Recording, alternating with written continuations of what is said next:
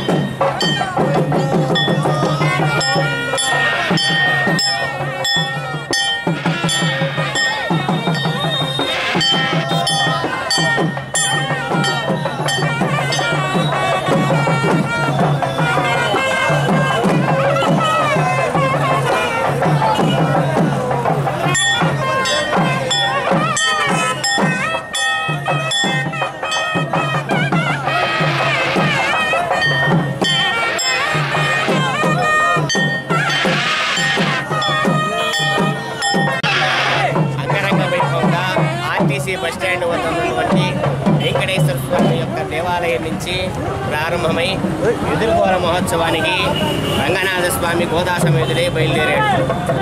ఈ ఎదుర్కోల మహోత్సవం అత్యంత పురాతనమైనటువంటి ప్రక్రియ. స్వామివారు అమ్మవారు ఇద్దరు కూడా అనేక మంది ముత్తైదువులతో పుణ్య స్త్రీలతో అనేకమైనటువంటి బాజా భజంత్రీలతో అందరూ కూడా స్వామివారి అమ్మవారి వెంట అందరూ బయలుదేరి ఇద్దరు కూడా ఎదుర్కొన్న మహోత్సవం అయిపోయిన తర్వాత కళ్యాణ మహోత్సవం జరుగుతుంది కావున అందరూ ఇచ్చేయవలసిందిగా కోరుచూ ఉన్నాం.